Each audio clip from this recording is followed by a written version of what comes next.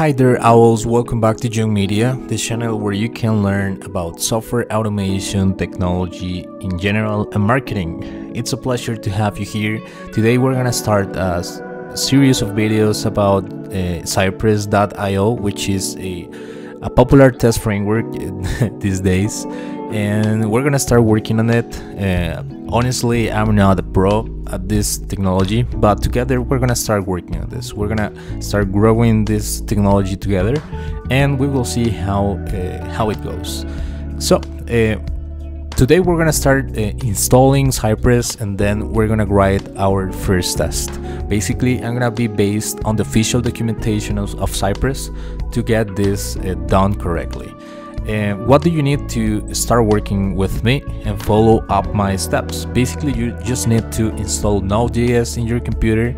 Um, you just have to come to this particular URL, nodejs.org, and you will have to click on the LTS version of Node.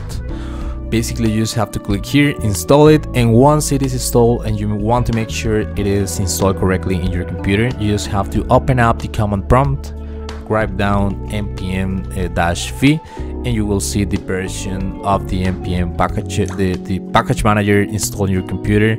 And if it responds with with a version, it says or it means that it, everything is working fine, basically. So it is fine. So let's continue. You just have to have node and then you just have to download your preferred visual or actually your your uh, i'm sure your preferred um, text editor uh, right now i i have visual studio code. You will see the the ui of visual studio code. So if you want to try it you just have to come to code.visualstudio.com and download it for uh, Windows or other platforms if you are not Windows, right? So yeah, um, once you have uh, those uh, technologies in your computer, you just have to follow up my steps to get Cypress working as expected all right? What is the next step? How to install cypress uh, in your computer. All right so the next step will be to create a folder in somewhere in your computer no matter where actually. I'm gonna create one in a particular place that i have which is your media automation and over here i have uh, the projects for example for selenium and test cafe that i have created for you in past videos. So i'm gonna uh, create a folder here named Cypress. And inside of Cypress uh, I'm gonna create uh, a folder named Cypress framework for example. I'm not sure if what the name to put. Right? Mm -hmm. and over here I'm gonna uh, once this folder is created I'm gonna open up Visual Studio Code to uh, open the the folder where what that I have created recently. It was located at the media automation Cypress Cypress framework, and that's the, the, the path that I want to define to have my Cypress uh, project. Right. Once I have this uh, set, I'm gonna uh, open up the terminal in the Visual Studio Code, which is located uh, this uh, the um, right bottom corner of, of the Visual Studio Code and then we just have to click on terminal. Right once this is done I'm gonna run this particular uh, command npm init to create the, the, basic structure of a project based on npm. It is gonna create a package.json file which is gonna contain all the stuff required to start working on it all right so I'm gonna uh, create the package name. It it uh, suggests me to have the default name, which is Cypress Framework, the folder name that I have uh, defined uh, before. I agree. I'm gonna let the default name, and I'm gonna create the version one. The description will be Cypress project for beginners like me.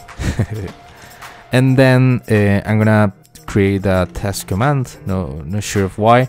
I have I haven't defined a Git repository for this project, but I will. Uh, you will have the uh, repository URL at the uh, description of this video if you want if you want to clone it, and just go ahead and create your tests. All right. Uh, the key the keywords will be end-to-end tests, uh, Cypress automation framework. Sure uh, just keywords to identify uh, my project and the out and the author will be Joan Media for sure. The license will be the default one, ISC. I'm gonna um, it is asking me if this is okay and I I'm gonna I agree actually I'm gonna write down yes and as you can see it has created a package.json folder at the uh, in at the under the folder all right it has all the stuff that I have uh, defined for example the the name the version description uh, the scripts keywords author license etc all right? So once this is done once I have the package.json uh, set and working as expected uh, the next command that I have to run will be the one to install Cypress in your uh, project. All right in this particular case I guess that it was something like npm install Cypress all right and if you want to uh, install it as a, a, dev dependency you just have to add this uh, this line and it should be uh, start downloading all the necessary stuff you need to start working on Cypress. As you may notice, uh, you uh, we don't have right now uh, node modules, but after running this command, it created that particular uh, folder and all the stuff needed to uh, to run Cypress in your computer. Right. Also, if you notice, we have another um, key and value over here which is dev dependencies and we have cypress installed in our project right so um, once this is done once everything is installed in your computer. Um, the next step will be um, running cypress uh, for first time the test runner. Uh, i'm gonna uh, just copy uh, this concept in in the official documentation I guess. Let me just take a look at it. There is a script that we may create uh, in our project which is um, this one over here. I'm gonna just place a comma over there. And I just created this script which is cypress and open. It is gonna run the cypress open command once you uh, execute it. So once you have this done you just have to come and write down npm run cypress open and there you should there there there you are. We're opening uh, the test or actually the cypress uh, test runner all right? It says that um, we have added some folders and example tests to your project. Try running the test in the examples folder blah blah blah blah all right. Once this is done as you can see here this is the uh, test runner ui that we have for uh, for us to run tests and do a lot of stuff uh, control the settings runs and the tests in general basically we over here can uh, select the the browser that we want to use for running our tests. In this particular case i'm gonna work with chrome all right and that's it. That's how we can install cypress. It's pretty pretty quick as you may notice. And, and that's it. It, it is uh, very quick for sure. So the next stage of this video is how to run Cypress and I'm going to use the official documentation to cover um, a basic example of this alright? So uh, under under the folder Cypress integration I'm gonna create a a, a um, folder right I'm gonna I'm sorry folder no uh, actually a file named um, let me see uh, how how we can name this.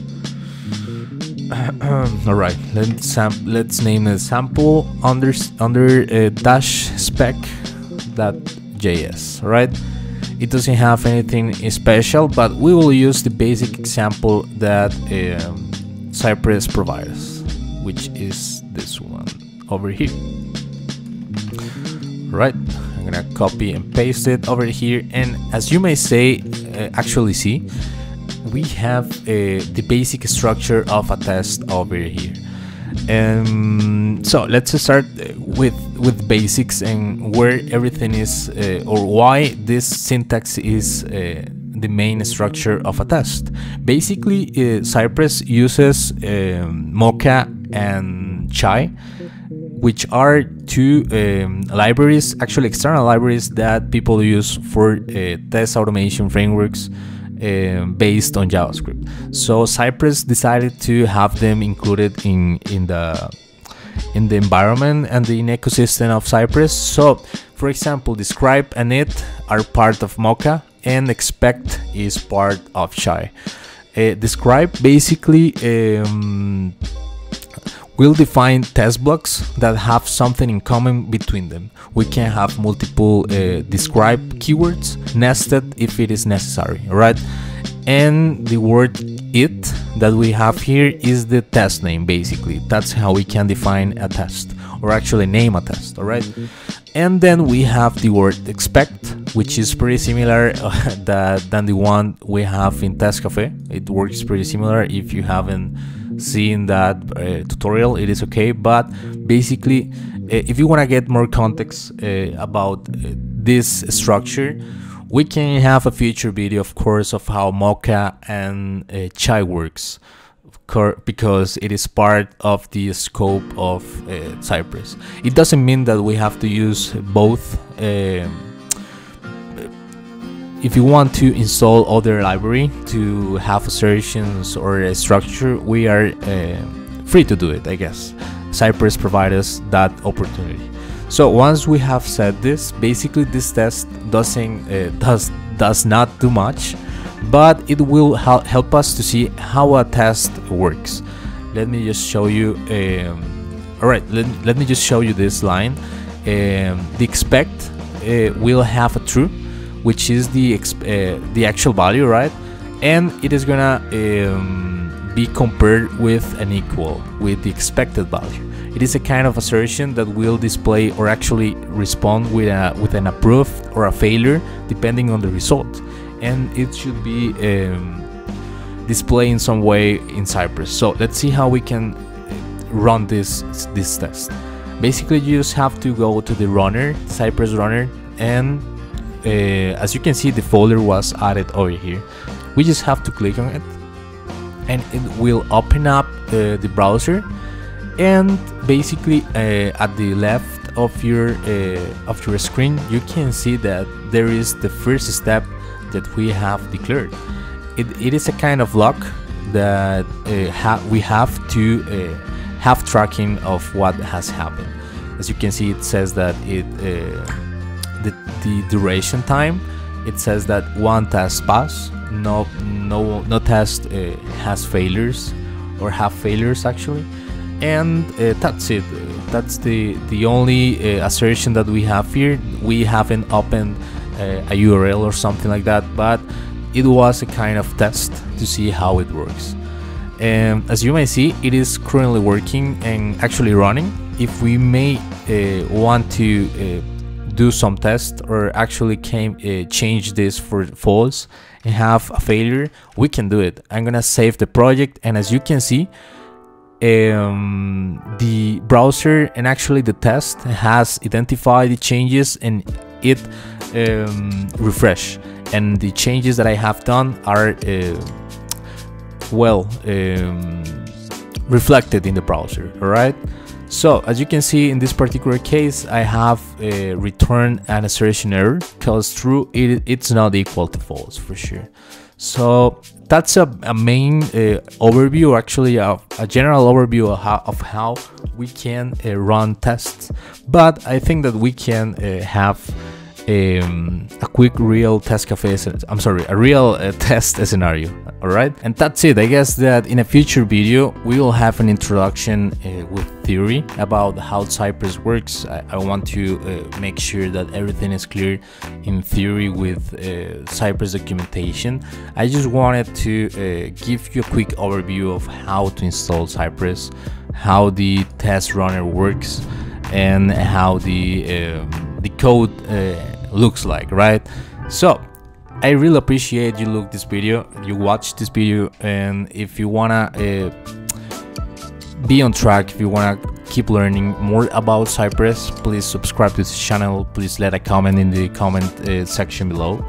and I'll be more than glad to, uh, well, uh, answer your questions if it is in my hands.